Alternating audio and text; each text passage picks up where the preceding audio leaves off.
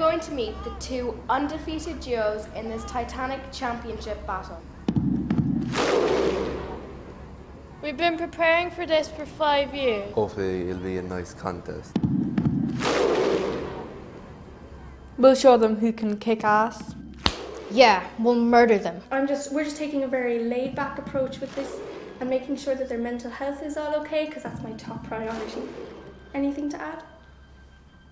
Well, um, these two, um, I've given them about as much tough love as I possibly can to get them to work hard, and it's worked. Because I'm glad it's worked, because if it hadn't worked, um, they would not have the potential to beat the absolute living crap out of the other team. And I think that it's really. Will you uh, wish to while, will ya? You're an embarrassment. You're just a disgrace. It's like you're getting worse with every time we train. Jeez. You've worked hard, so you have the potential to win.